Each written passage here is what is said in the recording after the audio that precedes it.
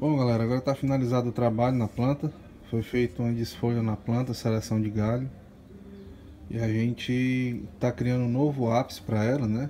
Foi cortado, feito um corte aqui. Já foi selado com pasta cicatrizante.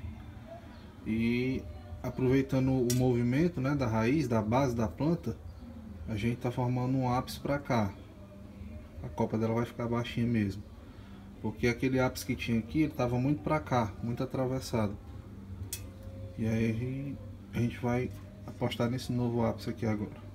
Feita uma seleção de galho, né? Agora a estrutura primária da planta já existe, agora falta só mesmo a ramificação e engrossar mais esse ápice para fechar aqui essa cicatriz aqui que ficou.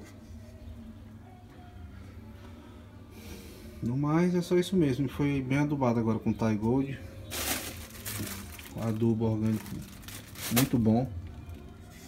Talvez até o melhor que a gente tem no mercado aqui, que seja mais acessível, né, pra gente.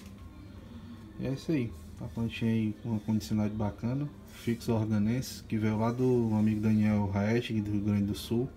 Um abraço, Daniel, valeu aí. Planta espetacular. Agora é só trabalhar a ramificação fina e, e definindo mais a planta, né?